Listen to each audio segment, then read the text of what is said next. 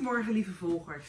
Ik heb besloten dat ik toch even een keer wil gaan praten met de volgers over het reinigen van de huid. Je zal je afvragen, wat doet ze nou toch in godsnaam met een sinaasappel? Ik ga het eventjes vertellen. We hebben ehm, toch nog steeds klanten die hun huid reinigen met een micellair doekje. Ik zal het merk weghalen, even merk onafhankelijk. Elk reinigingsdoekje reinigt eigenlijk je huid, of eigenlijk reinigt je huid gewoon niet goed. Ik ga het ook gewoon laten zien.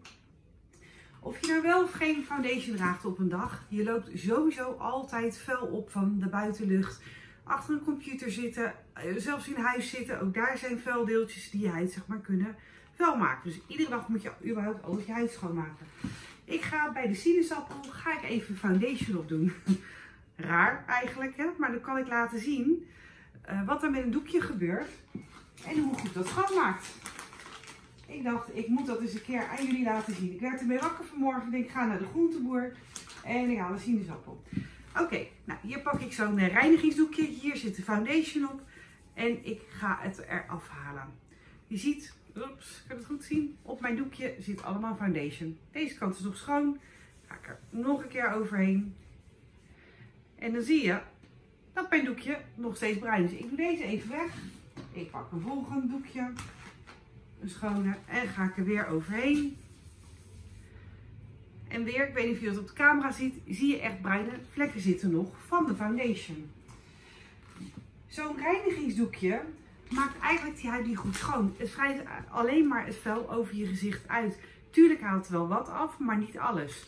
Als je niet alles uh, eraf haalt van je huid, dus niet goed reinigt, gaan al die vuildeeltjes gaan in je poriën zitten. Wat gebeurt er dan? Die poriewanden die gaan verwijderen.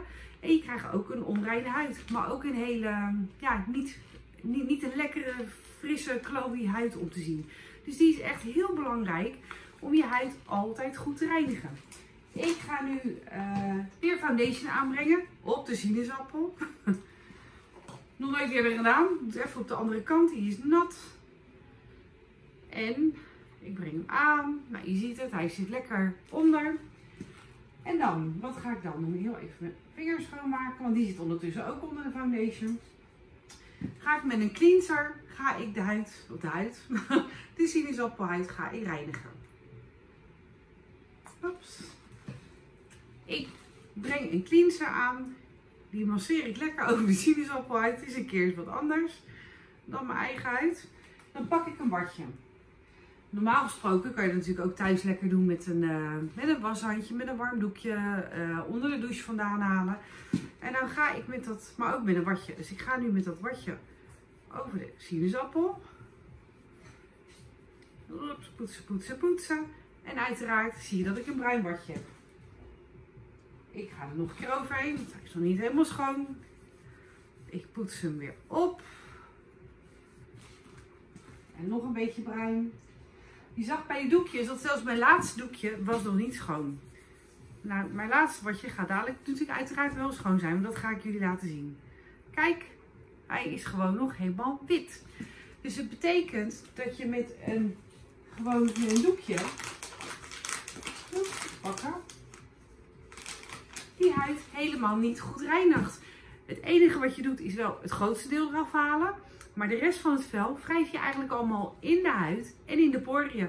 Die, die, die poriën worden dus wijder, wijder, wijder. Dus dat zijn ook vaak de, de vragen die we krijgen van klanten van... Goh, uh, mijn poriën worden groter. Heeft zeker ook met de elasticiteit van je te maken.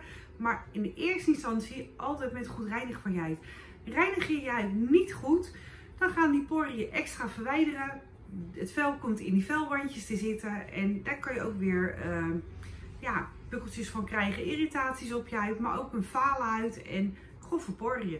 Dus reinig je huid goed met een goede reinigingsmilk. Uh, het liefst ook met een lotion erachteraan. Daar heeft Pascal toevallig ook uh, een 2 in 1. Hoef je geen lotion achteraan te gebruiken. Dat is ook heel makkelijk natuurlijk voor de mensen die dat niet willen. En laat je ons een goed advies geven welke reiniging goed bij jouw huid past. Nou, ik hoop dat jullie het leuk hebben gevonden. Mijn uh, vlog met de sinaasappel.